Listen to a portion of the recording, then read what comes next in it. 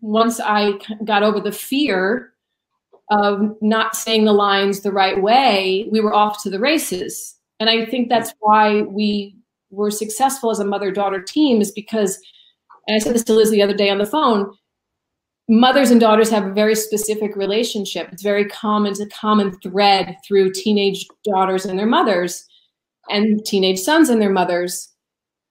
And I think that's why we resonated with each other. Liz also trusted my input and we were a team. We worked together. She always treated me as a peer, never as a child. And I respect, I was so, to me, that was like heaven because, you know, again, coming on the show, I was the new kid and there was a new family. The Snyders were, you know, infiltrating the world. Um, but this is before that existed.